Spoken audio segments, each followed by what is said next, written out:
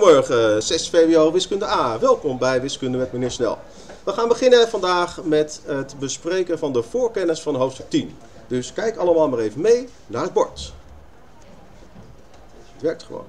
Ehm, het eerste wat je moet weten van die theorie van uh, hoofdstuk uh, 10 is uh, de rekenregels van de machten. En die wil ik nog even allemaal voor jullie uitschrijven. Dus bijvoorbeeld deze. Als je had a tot de macht n keer a tot de macht m, dan werd dat a tot de macht n plus m. Als je had a tot de macht n tot de macht m, dan werd dat a tot de macht m keer n. Ja, dit zijn de rekenregels die je in de onderbouw al hebt gehad. Um, daar, dan komt er nog eentje bij, die je ook in de onderbouw hebt gehad, deze. a tot de macht n gedeeld door a tot de macht m. En dat wordt a tot de macht n min m. Nou, merk op dat ik hier zeg maar de gewone notatie heb geschreven. En wat ik daarmee bedoel, dat wordt straks duidelijk. En hier in deze kolom heb ik de notatie geschreven als macht. Want het blijkt dat we bij dit hoofdstuk heel vaak de hele tijd de gewone notatie moeten vertalen naar de notatie als macht. Ja? Um, Oké, de nieuwe. a tot de macht 0. Dat was 1. Nee, dan moet ik hem dus andersom schrijven. Hè? Dit is 1. En dit wordt a tot de macht 0. Um, en dan de echte nieuwe. 1 gedeeld door a tot de macht n. Weet jullie nog wat het was? Heb je in de vierde klas in het begin van het jaar gehad. Dit was a tot de macht min n. En je had ook nog uh, de wortel van a. Dat was a tot de macht een half. Komt dit enigszins bekend voor? Enigszins bekend. Ik wil nog even wel laten zien waar dit vandaan komt. Dat vind ik wel leuk, ook voor de kijkers thuis. Um, dan, de ende machtswortel van a. Dat is a tot de macht 1 ende. En dan heb je tenslotte ook nog een hele vervelende. De p-de machtswortel van a tot de q-de. Bijvoorbeeld. Dat wordt a tot de macht q p-de. Oh, mijn masker waait weg. Zo, belangrijk. Goed, uh, waar komt dit allemaal vandaan? Hè? Wat, wat zijn dit voor stomme regels? Nou, die komen hier vandaan. Als je hebt 2 keer 2 keer 2, dan is dat 2 tot de derde, toch? En als je hebt 2 keer 2, dan is dat 2 tot de tweede. Als je dat vermenigvuldigt, dan krijg je dus 2 keer 2 keer 2 keer 2 keer 2. En dat was de reden dat je die exponenten moest optellen. Die 3 plus 2 wordt 5. Toch? Dat was de gedachte hierachter. Uh, net als deze. Als ik heb 2 tot de derde.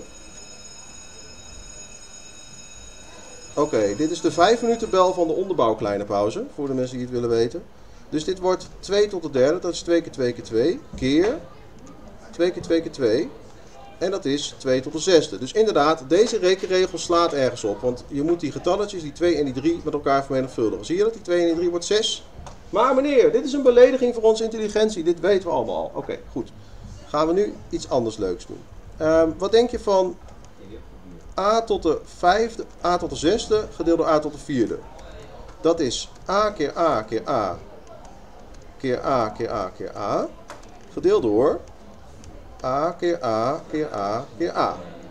Nou, dan kan je die a's wegstrepen boven en onder. En dan heb je er nog twee over. Dus het wordt a tot de tweede. Met andere woorden, je doet min. De eerste drie rekenregels heb ik nu soort van aangetoond. En die andere dingen, die krijg je cadeau eigenlijk als je die eerste rekenregels kent. Zal ik laten zien. Wat is bijvoorbeeld a tot de zesde gedeeld door a tot de zesde? Nou, dan streep je alles weg en hou je 1 over. En die rekenregel zegt dat dit a tot de nulde is. Met andere woorden, a tot de nulde is 1. En dat volgt gewoon uit deze regel. Deze regel a, 1 is gelijk aan a tot de nulde is niet nieuw. Die volgt gewoon uit deze regel. Nog één. Um, wat denk je van um, 1 gedeeld door a tot de vijfde? Nou, we hebben net geleerd dat je 1 kan schrijven als a tot de nulde. Dus dan krijg je a tot de nulde gedeeld door a tot de vijfde. En volgens die rekenregel hier, die we hier hebben, is dat a tot de macht min 5. Met andere woorden, een mingetal in de exponent zorgt voor een breuk. Ja? Dat is deze regel. Dus die regel is ook niks moeilijks eigenlijk. Dat is gewoon een, uh, een gevolg van de regels die je in de onderbouw in de tweede klas al hebt gehad. Ja? Oké, en dan die wortel nog eventjes. Ehm, stel je voor dat iemand zegt, ehm, ik weet niet wat a tot de macht de half is. Nou, dat kan best zijn. Dan zeg je a tot de macht de half is x.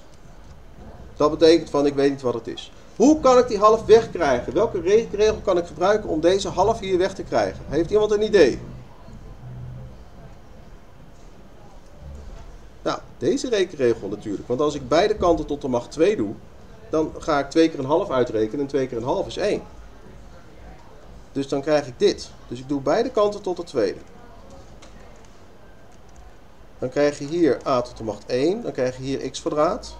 En als x kwadraat gelijk is aan a, lieve mensen, dan is x gelijk aan de wortel van a. Met andere woorden, a tot de macht een half is de wortel van a. Dus die rekenregels die je moet kennen opeens, die, zijn, die volgen eigenlijk uit de, uit de rekenregels uit de tweede klas. Je hoeft niet precies die afleiding te kennen, maar je moet wel enigszins het gevoel hebben dat het een klein beetje logisch is. Als, als je dat gevoel al hebt, dan ben ik al blij. Um, zijn er opmerkingen of vragen over dit deel? Dit is een gruwelijk belangrijk iets wat de hele tijd terug gaat keren. En we gaan het natuurlijk nog herhalen. Als we het nodig hebben, dan lepel ik het nog even op. Zijn er nu opmerkingen over? Oké, dan uh, gaan we nog even naar differentiequotient. Dat is gewoon korte theorie herhalen. Um, stel je voor dat ik hier een assenstelsel heb. xi. En in dat assenstelsel heb ik de grafiek van de functie f. Dan kan ik op de x-as een interval uitkiezen van a naar b. En als het goed is, weet je nog dat je dat interval zo kon schrijven. Van A tot B. En A en B doen mee. Weet jullie dat nog? Oké. Um, dan kon je uitrekenen het differentiequotient.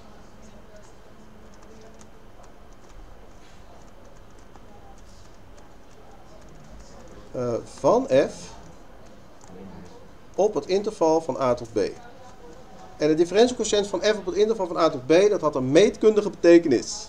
Die ga ik laten zien. Als a hier zit, dan zit de functiewaarde die hoort bij a hier. De uitkomst bij a.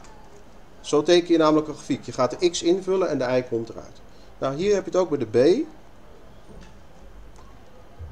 Zo, dit is fb. En wat je eigenlijk aan het doen bent, is je bent de richtingscoëfficiënt aan het bepalen van deze lijn.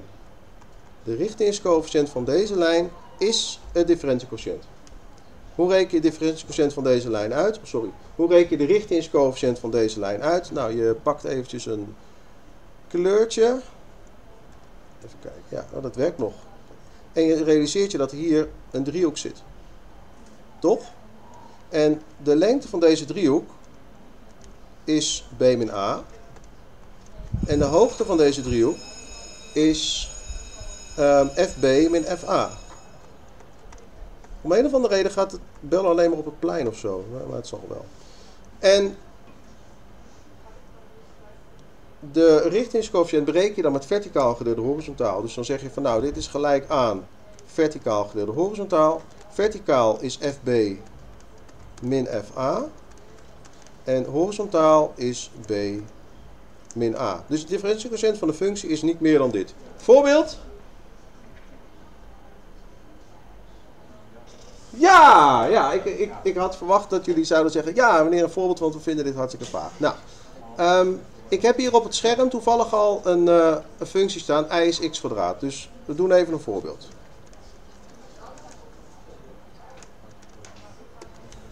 Uh, met de functie fx is x kwadraat. En ik ga het differentiequotient berekenen op het interval van 1 tot 5. Dus differentiequotient op het interval van 1 tot 5. Nou, dan moet ik dus f1 berekenen. Dat is 1. Dan moet ik f5 berekenen. Dat is 25. En dan moet ik uitrekenen f5 min f1 gedeeld door 5 min 1. Nou, f5 was 25, f1 was 1, gedeeld door 4. En 24 gedeeld door 4, 6. Dus de differentiequotient van die functie is 6. Is dit helder? Oké. Dan stel ik voor dat uh, jullie even mogen kloten met de voorkennis, voor zover je daar nog niet aan begonnen was. En dan in het volgende uur wil ik even de, de nieuwe theorie uitleggen. En dan uh, misschien ook wel gewoon op deze manier. Dus, zijn er nog mensen met opmerkingen? Oké, even wachten. Ehm, dank jullie wel voor de aandacht. Tot de volgende keer. Dag. End show. End show.